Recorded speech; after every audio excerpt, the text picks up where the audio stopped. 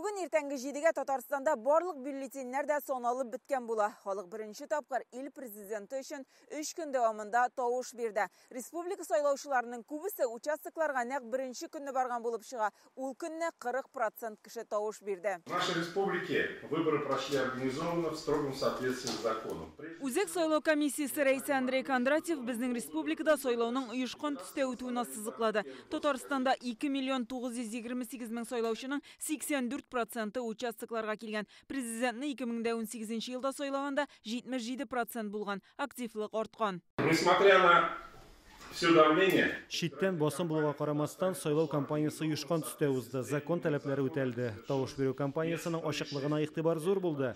Беренче нәтиҗәләр матди техник әзерлек, мәгълүмати эшчәнлекнең нәтиҗәлелеге турында сөйли.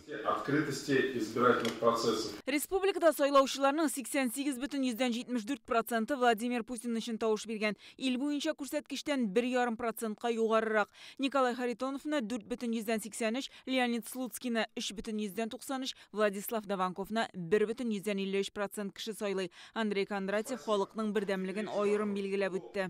Предварительные итоги говорят о небывалом единении и уверенности в лучшем будущем Великой России. Беренче нәтиҗәләр халыкның бердәм булуын, Россиянең яхшы киләчәгенә ышанычын күрсәтте.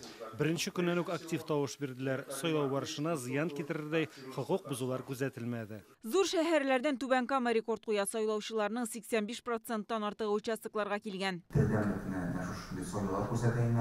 Бүген югары күрсәткечләр бу инде беренче җирдә үзебезнең гражданлык позицияны күрсәтеп тора.